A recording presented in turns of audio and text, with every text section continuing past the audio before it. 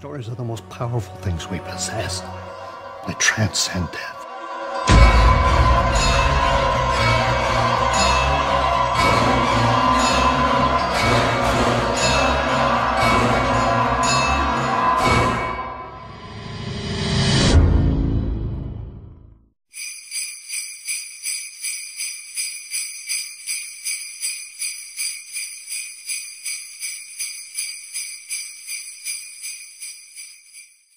What better way than to spend your holiday season wrapped in the creepy arms of Jeffrey Combs? We are talking about the horror Christmas anthology, Holiday Hell. Uh, this one is an anthology movie with obviously multiple directors, uh, but it is written by Jeff Ferrell and Jeff uh, Vigil. So this has a wraparound story that involves Jeffrey Combs, and he is a shopkeeper of a curio shop. And just the, the, night before Christmas Eve, he gets his last customer in of the day, and there's this woman looking for a gift for her sister. And essentially, the stories are essentially the Jeffrey Combs telling the customer about particular items within the shop, and uh, there is three kind of stories that he tells, and then the, the, this customer tells Jeffrey Combs' story. So we essentially have this wraparound story, and then plus four actual sort of stories themselves. The final story does kind of link into the wraparound story. So we're just going to touch briefly on each of the four stories and kind of what my thoughts are on them. Then we'll talk about in kind of uh, in general. So the first story um, essentially is a kind of a slasher style movie and it has to be fair very little to do with Christmas.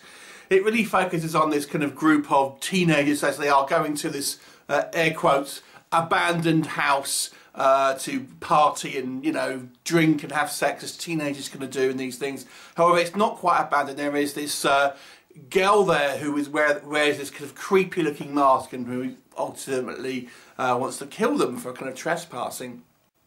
This one is more or less a standard, albeit short, slasher movie. Um, a few things to kind of point out with this one. Uh, uh on the plus side, the actual doll mask looks really cool and particularly creepy. And it's kind of nice to see a kind of a female slasher. And there are there's a despite it being a, just a short film, it's a relatively high kind of body count. There's some kind of fun deaths within this movie itself. On the on the downside, the story's nothing new. It's just a very much a quick slasher. There's no kind of like cleverness to this kind of plot. It doesn't attempt to have a a little bit of a twist, but there's always that that sort of thing with an anthology movie. You kind of know it's coming. Um, but the thing that bugged me a little bit about this movie is the set dressing here, because this does not look like a, a, a haunted, like an abandoned house at all. It literally looks like someone's house, fully furnished complete with stereos and stuff like that that would have been nicked if it was an abandoned house. Think so. It just looks a little cheap. It looks like they basically filmed it in someone's house and going, oh yeah, it's just abandoned. And there's no attempt to kind of make it look abandoned whatsoever. So it kind of comes across as, um, you know, just a very quickly made uh, kind of slasher flick. The second one is a little better, I feel, and this is a kind of a haunted doll movie. Now, this actually has a Jewish spin. Uh, we get this kind of uh, this Jewish couple who are going away for business for a few days. So their young son, they give this particular kind of like this this wooden handmade doll, which was made by a rabbi in Germany somewhere, and it's kind of you know very old, etc. And uh, they, they they hire this this young girl as a babysitter to look after the kid uh, while they're away. But this young babysitter has ideas about robbing them and kind of wants to get her boyfriends there to uh, to try and obviously clean the place out. And it's up to this kid and this now um, golem, essentially, this small golem to, uh, defend the kind of the home against these uh, would-be um, robbers. So that was quite good. I've got to say, it's very low budget. It all takes place in kind of one location. The doll itself does look very creepy. They do do some kind of like um, very you know low tech ways of kind of making the, the doll move, but don't be expected to see it running around and stuff like that. The thing that bugged me about this movie, although I think the actual premise is quite fun and the doll itself looks quite neat, the acting is so poor in this segment. Uh, everyone massively overacts here and it's, it's just has no believability whatsoever and um, yeah, it just it doesn't look particularly good in, in regards to that, unfortunately. The third uh, story, which I actually think is the strongest in my opinion, the fourth one's good as well, is um, we have this guy who is uh, kind of having a middle middle age crisis. You know, he's he's overweight. He's kind of stuck in a job where he's getting passed over for promotion. His wife kind of is losing interest in him and kind of having an affair with the guy that she he, he got um, he you know he lost the job out to. Things like this. So he he is kind of feeling under pressure, and he works for a pharmaceutical company, and uh, he's kind of had a bit of an alcohol problem. And uh, one night he kind of dresses up as the kind of the company Santa Claus and sort of finds out his wife is ultimately having an affair and snaps. And he not only is he kind of having this mental breakdown, he's having you know he's drunk.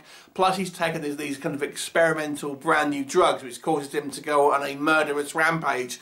And then he basically turns into Arnold Schwarzenegger from uh, Batman and Robin, who who is essentially just every line he says is just like a, some pun-filled uh, Christmas joke or something like that, and even the way he you know kills people, like there's a girl who's doing you know shagging this guy and she's got you know she's topless and he kills her with a hoe for example and obviously meant to be she's a hoe etc so uh, that was actually quite fun and actually fairly poignant because obviously these kind of uh, mass killings and these kind of people snapping, certainly in the States, is something which happens all too often, unfortunately. And although this isn't gun violence, essentially, it's someone kind of breaking down and having this mental breakdown and then killing their co workers.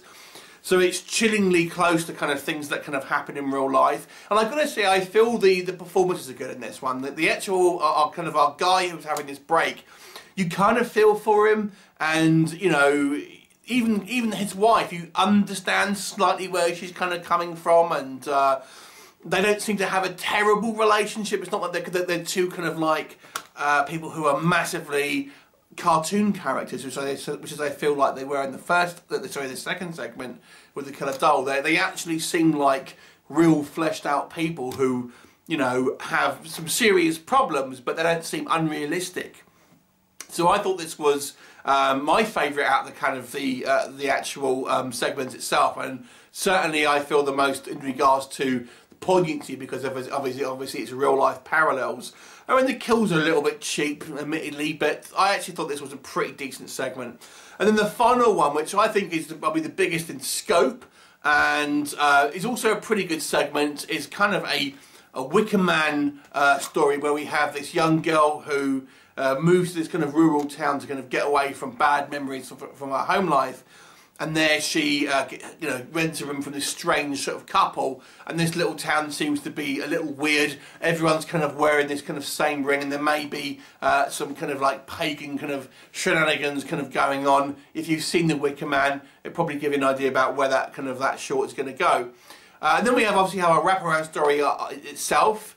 And I've got to say, I thought Jeffrey Combs was fantastic in this. He's such a fun actor and such a kind of a beloved uh, horror icon, I think. And he really is, um, even though he doesn't have a huge amount to do in the actual wraparound story, I thought he was actually quite fun as this kind of cranky shopkeeper who gradually kind of is becoming more kind of interested in this kind of customer and stuff like that. And then we have that kind of the, the conclusion to that story, which I also thought was actually fairly fairly kind of good uh, as well. I mean, the, the, shop doesn't look great in regards to its set design. To be honest, it looks like a set, but you know, there you go.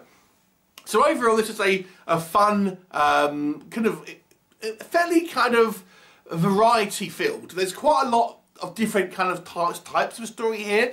So I feel this anthology does actually do a good job in having giving some kind of variety and also some uh, the, because there's only four stories they are of reasonable length so you do get a little bit of kind of character design and you get a kind of you know an arc to the story which I think is a little bit better so maybe than the ones that have really short lot more vignettes um, that you can never, never really get any kind of character build up in. So I'm going to say, although I do have some problems that I've mentioned, and the, the, the general cheapness of this production may put some people off, I do think there's certainly some to enjoy here, particularly kind of from the last two stories, and the wraparound story itself. I feel is is quite fun purely because of uh, Jeffrey Combs' kooky performance, uh, which absolutely carries that kind of segment. So I want to give this one an above average mark, six out of ten. Have you seen it? What did you think of it? Leave me a comment, and I shall look forward to seeing you next time. Bye for now.